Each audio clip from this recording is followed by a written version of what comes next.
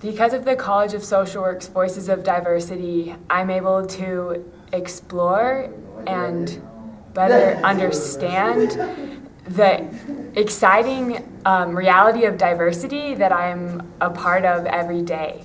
Every voice matters. Because of a College of Social Work's Voices of Diversity, I have been empowered with knowledge about the issues and different things that have gone on in the community that the dominant society at large doesn't really discuss.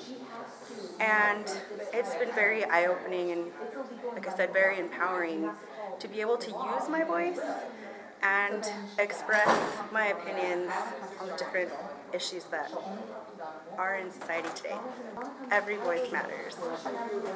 Because of the College of Social Work, um, the Voices of Diversity, I feel like I've learned different aspects of diversity that I didn't know before. Um, it's been a great educational tool that I feel like I can use later on in my career. Every voice matters.